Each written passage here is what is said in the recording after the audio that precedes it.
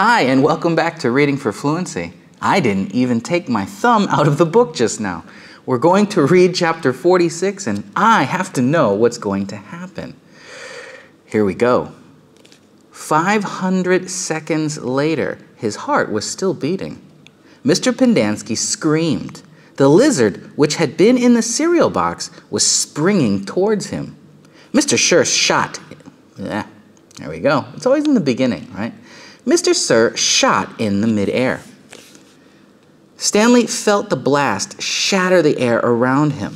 The lizards scurried, scurried frantically across his very still body.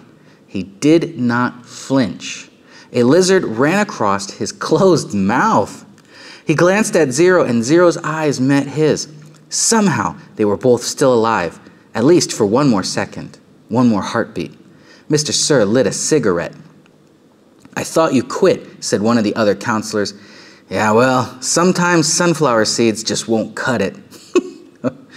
he took a long drag on his cigarette. I'm going to have nightmares the rest of my life.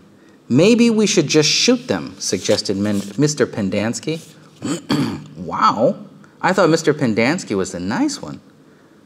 Who? Asked a counselor. The lizards or the kids? Mr. Pendanski laughed grimly. The kids are going to die anyways. He laughed again. At least we got plenty of graves to choose from. We've got time, said the warden. I've waited this long. I can wait another few. Her voice trailed off. Stanley felt a lizard crawl in and out of his pocket. We're going to keep our story simple, said the warden. That woman's going to ask a lot of questions. The AG will most likely initiate, initiate an investigation, investigation, investigation. So this is what happened.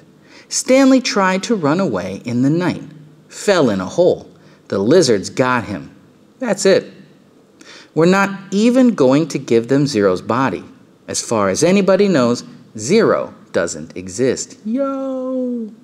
Like mom said, we got plenty of graves to choose from. Wow, these people are sick. Why would he run away if he knew he was getting released today? Asked, Pendans- asked Mr. Pendanski. Who knows? He's crazy. That was why we couldn't release him yesterday. He was delirious. Delirious means super crazy. And we had to keep watch over him so he wouldn't hurt himself or anybody else. She's not going to like it, said Mr. Pendanski. She's not going to like anything we tell her, said the warden. She stared at Zero and at the suitcase. Why aren't you dead yet? she asked. Whoa! Yeah! Stanley only half listened to the talk of the counselors.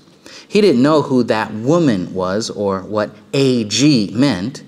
He didn't even realize they were initials. It sounded like one word, AG. His mind was focused on the tiny claws that moved up and down his skin and through his hair. Creepy. He tried to think about other things. He didn't want to die with the images of the warden, Mr. Sir, and the lizards etched into his brain. Instead, he tried to see his mother's face.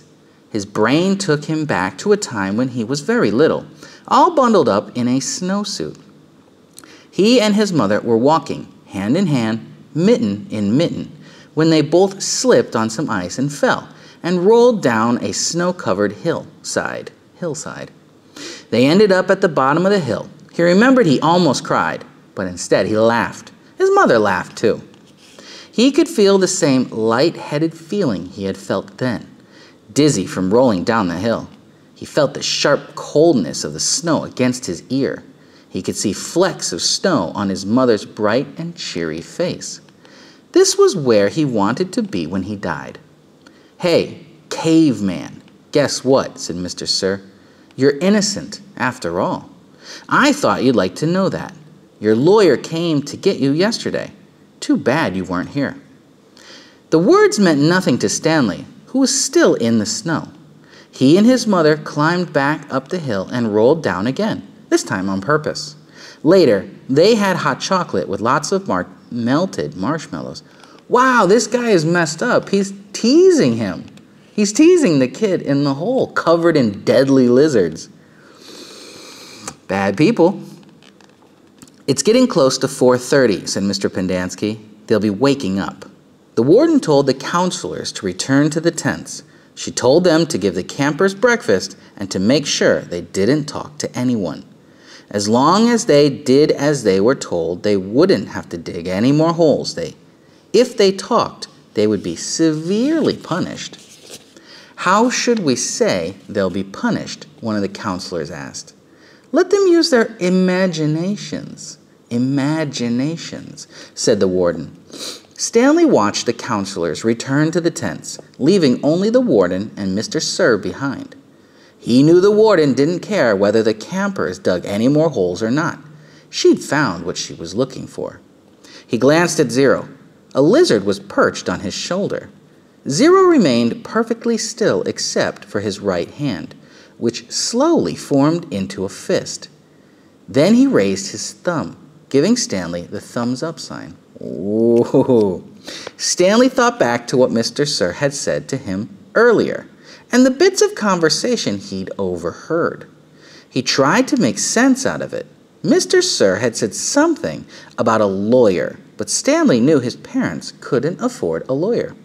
His legs were sore from remaining rigid, stiff, for so long. Standing still was more strenuous, difficult, hard, strenuous then walking. He slowly allowed himself to lean against the side of the hole. The lizards didn't seem to mind. I'm going to keep going, but I'll see you for the next chapter. Goodbye.